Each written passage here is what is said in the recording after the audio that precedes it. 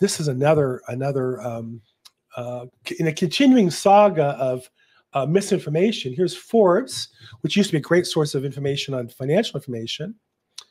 Uh, let me see. Oh, there it is. The risks involved in owning a house as an investment. Well, that sounds ominous. This is of owning a house as an investment, not not owning real estate, right? The real estate goes up, it goes down. There's cash flow, there's risks. Let's talk about specifically a house, and in this case, we're talking about really your home. And so the article is written. Um, uh, it's it's an answer by a assistant professor of finance at my alma mater, USC.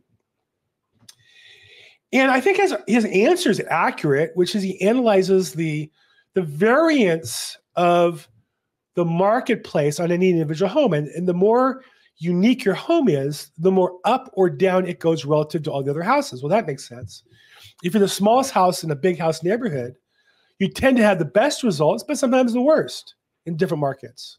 Right? In a really go-go market, if you know, if you have the only three bedroom in a four bedroom neighborhood, in a down market, your house will, will sell because people want to live in a nice neighborhood on the cheap.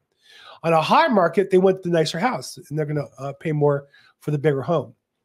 And so he explains this in very detailed economic statistical terms. I think he does a good job. I think he's accurate describing the the population of data, the range, the um, bell curve, if you will, of data and outcomes. And the more unique your house is, the more likely you are. But the longer you hold it, the more markets over time your house will normalize in value. Very interesting, but really that doesn't really. That's not why Forbes put the article there. The risk involved you're owning a home is because they went to home and go, oh my God, what's the risk? It might burn down. I might get stolen. I better click on the article and read it. And I assure you, 99% of people who read this article have no idea what the guy's talking about. They don't really care. You clicked on it. And then before you even get to the article, there's going to be some ads. Um, and this one's blanked out on me uh, already. Uh, here you go, Splunk. I don't know what Splunk is. Build digital resistance. So when you click on the page, uh, two thirds of it's going to be an advertisement before you even get there.